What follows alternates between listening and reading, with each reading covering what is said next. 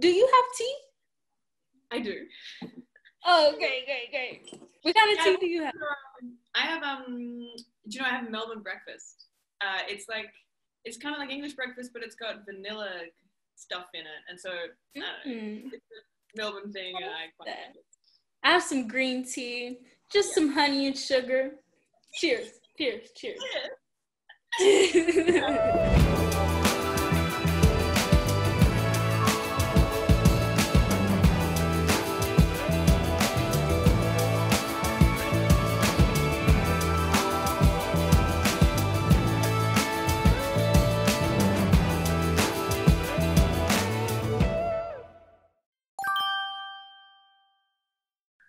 Is there any mentors or someone that uh, supported you when you first started? Um, I always found that uh, not one singular one, but I always found that when I was doing jobs, uh, there would often be, you know, the female lead of the show, and there's, you know, some great um, actresses here in Australia that be. I always found they were great to look up to because they had, you know, the situation of going home and doing the washing for the kids on the weekend, but then still working during the weekday and like nailing it. Just sort of, just being a real boss, just getting all the sort of uh, parts of their life in control, in order, and and doing it all at once. And I always found that really impressive. And you know what's so interesting? I was watching one of your uh, interviews, and you said like you were seeking balance, and I feel like Hmm. that's for me that I'm seeking right now, and learning how to be myself and understanding myself, and Yeah. getting to know myself really. So I wanted to know like, have you found balance, and like, how do you keep your balance?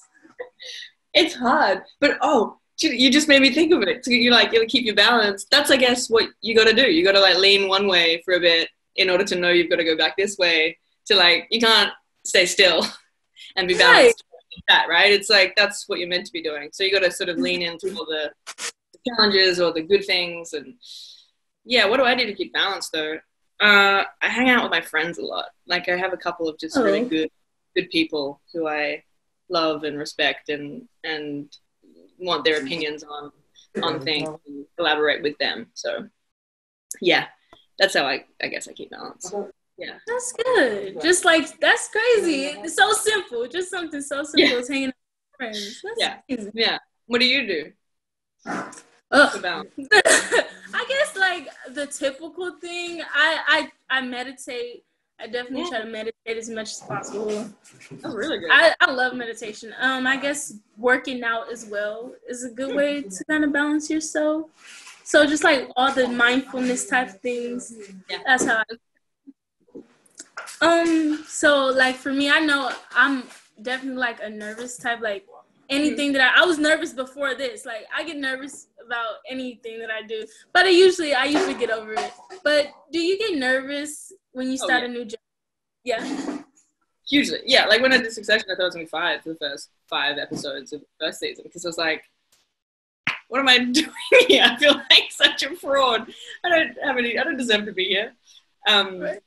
And you know, I think it's normal. Like anytime you you you try something new or you try something challenging, there's the nervousness about how it's going to turn out and and worried about what people will think or what your friends and family will think. Um, but I don't know. I'm getting I'm getting used to and I'm liking this situation of like being okay to fail and seeing what like I can learn from from that and thinking of it Wow. as not a destination but as part of a journey. So that the, the job is not the final product. It's my experience of the job is part of like a bigger picture, and a bigger learning part. Yes. So when did you realize you wanted to do this for a living? Uh, you know what? I think it was more of a case of realizing I could. I think like for a while, um, you know, you don't you see people on TV and you sort of watch films and I watched a lot of cartoons growing up and I guess I didn't know that I could do it as for a living. So so wanted to was different, but then able to. Um, yeah, I guess after I graduated drama school, it's like, okay, well you, you went and studied for it, so you better try and do it as a as a as a job, as a career. How did you know you wanted to go to school for it particularly or just go into the film world, you know, acting? And, Yeah, I guess.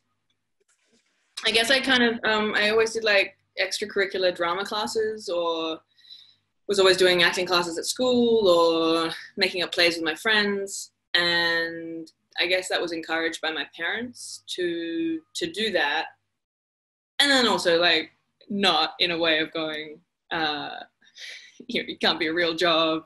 It's a very small amount of people who can, you know, make it as a real job, which is totally understandable. They're just trying to protect you from from things, um, from from life instability. But you know, um, but then I was in year twelve, my final year of high school, and my drama teacher said that I should audition for a drama school for college, and um, yeah. so just just decided to do that because it, sort of taking suggestions from from from people who knew better than I did, and um, seeing where the wind took me. Yes. Yeah. Okay. I have one more question for you, which is, why do you or why do you think TV is important? Oof. It's like stories, right? It's it's telling telling our stories, telling each other's stories, telling parts of, of life and and the world and cultures that we don't know personally that we can experience through other people and and through that you know you then you get to understand and then through understanding there's less fear and there's less prejudice and there's less mm. hatred you know just like once you know something and understand it then you love it right like you or you can begin to love it yeah that's why we have to tell the stories that's why we that's why tv is important yes Thank you so much. I really appreciate this and congratulations. Oh, oh my yeah, thank you. Yeah. oh, this is your first Emmy nomination, right? Mm-hmm. Yeah, yeah, yeah. Which is strange to be so distant from it all in Australia, but uh, still enjoyable. Yeah. Yes. Yeah. Yeah, and you'll be getting nominated for an Emmy, sure. In hey your future. Now. yeah, man. you know, keep going, keep doing what you're doing. You're becoming like a, an auteur, you know, writing, directing, acting, just do it all.